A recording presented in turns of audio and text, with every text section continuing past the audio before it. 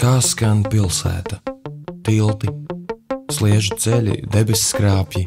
29. februārī Ventspīlī koncertzālē Latvija laikmetīgās autora mūzikas ciklā Mā gaidāms amerikāņu perkusionistu un komponista Īlaja Kešlera koncerts.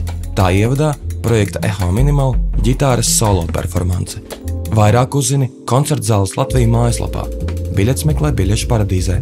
Atbalsta Valsts kultūra kapitāla fonds un Ventspils pilsētas pašvaldība.